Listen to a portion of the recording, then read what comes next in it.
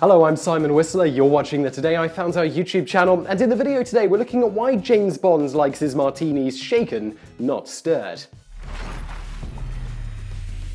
A properly made martini is mostly dry gin with a bit of dry vermouth and ice. Epicurious recommends 5 parts gin to 1 part vermouth.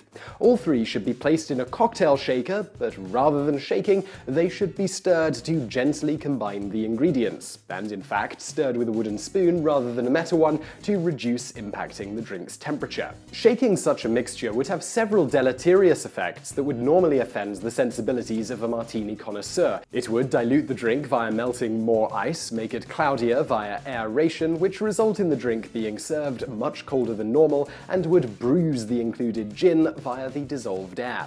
In fact, shaking cocktails is generally only recommended for those drinks that are intended to be aerated and frothy, like a Tom Collins or a margarita. Others are either built, such as a highball, where the ingredients are simply poured on top of the other in a glass and served, or stirred, such as the martini or a Manhattan. So why precisely would such a sophisticated man such as James Bond, who has impeccable mastery of culinary etiquette, repeatedly make the obvious faux pas of asking for his martinis shaken, not stirred. One prominent theory is that he was consciously trying to lower the potency of his beverage, thereby giving the appearance of heavy drinking without actually doing so, which could lull his nemesis into a false sense of security while also assuring he kept his wits about him.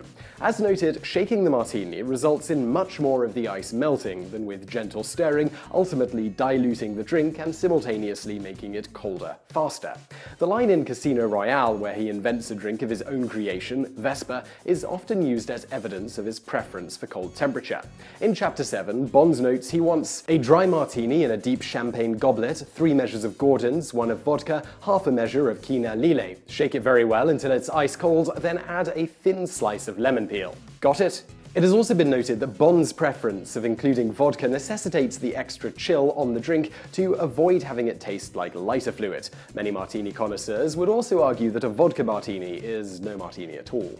Another theory notes that Ian Fleming, Bond's creator, switched to vodka martinis while writing the Bond novels, and perhaps some of his vodka was of an inferior quality. Sometimes cheaper vodkas, such as certain cheap potato vodkas, have a bit of excess oil in them, and shaking the mixture to create the emulsion helps hide that taste. Evidence to back this up is also found in Casino Royale, where Bond notes that vodka from grain, rather than potatoes, improves the taste of the drink. The third, somewhat more humorous theory is a bit more complicated to explain. James Bond, like his creator Ian Fleming, seemed to enjoy a broad range of liquor. In the books, he drank scotch much more frequently than martinis, and his brands of choice included Macallan, Haig and Haig, Johnnie Walker, Dewar's, and Black and White. Bond also drank other whiskies, including Jack Daniels, Canadian Club, Old Grandad, Virginia Gentleman, Suntory, and Harper. In fact, Bond drank so much that in a highly entertaining December 2013 scientific report published in the BMJ, formerly the British Medical Journal, doctors opined that Bond was an alcoholic and headed for an early grave for this reason, if not due to his dangerous profession, or at least was likely to suffer from impotence, liver disease, and a variety of other health problems associated with intemperance with respect to alcohol consumption. According to the researchers who perused the James Bond novels for their data, over the 123.5 days covered in the stories they looked at, Bond consumed an astounding 9,201.2 grams of pure alcohol in the various drinks he partook in. This means he drank an average of 521.6 grams of pure alcohol each week, an amount several times that recommended by the British National Health Service. They concluded their paper noting that James Bond was unlikely to be able to stir drinks even if he would have wanted to, because of the likely alcohol-induced tremor. Shaking his drinks would have helped hide this fact from his adversaries and further help hide that he was a high-functioning alcoholic from his superiors.